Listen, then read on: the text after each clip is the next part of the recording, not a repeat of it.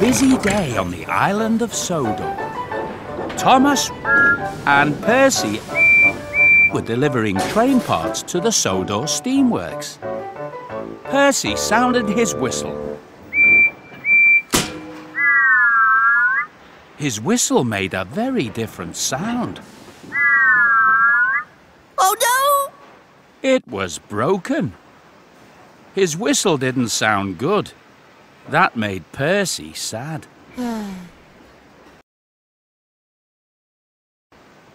Thomas wanted to cheer up his best friend. But how? Suddenly, an idea bubbled in his boiler. Thomas thought that Percy's broken whistle sounded great. It's musical. Thomas could collect sounds from all around the island and surprise Percy with a music show.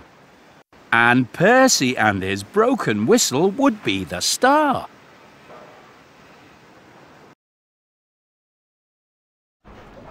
Thomas raced to the first stop, Brendam Docks, where he saw Salty.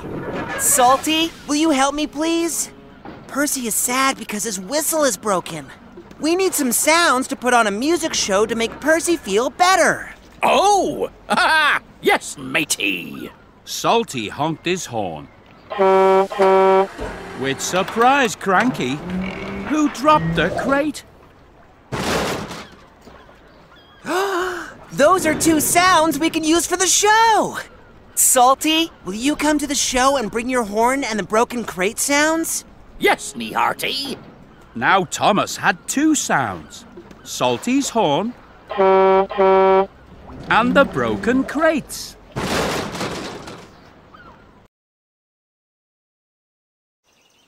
Toby was at Farmer McColl's farm when Thomas puffed in. Thomas asked Toby if he had any sounds, Well, jingle my bell. I'm happy to help. said Toby. Then he rang his bell. All the animals looked and answered. Thomas smiled from buffer to buffer.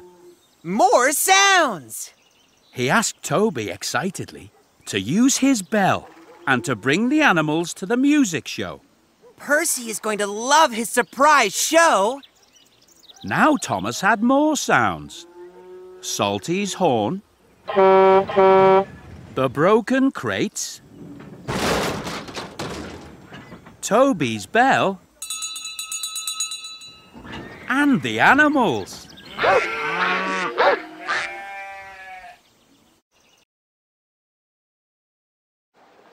Knapford Station was very busy when Thomas arrived. Thomas clickety-clack up the track next to Gordon. Gordon had just steamed to a stop. And then the conductor yelled, All aboard! That's a jolly noise. said Thomas. More sounds for the show. Thomas asked Gordon to bring the conductor and his steam sound. Now Thomas had even more sounds. Salty's horn, the broken crates, Toby's bell, the animals, Gordon's steam, and the conductor. All aboard! Finally, it was time for the show. But where was Percy? Sad Percy puffed slowly into Tidmouth shed. Surprise! Yelled Thomas. What's happening? Percy asked. Percy, this is for you. Ready? We present our music show. All aboard! As Percy listened to all of his friends' amazing sounds, he began whistling too. His broken whistle sound was actually very musical. Percy quickly became the star of the show.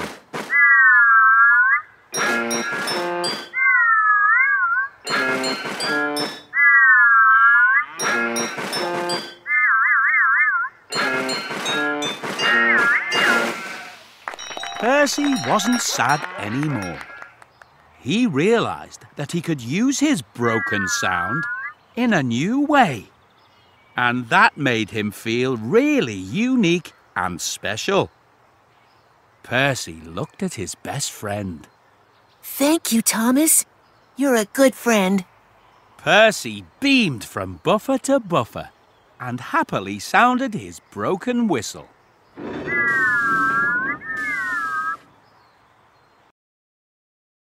The end.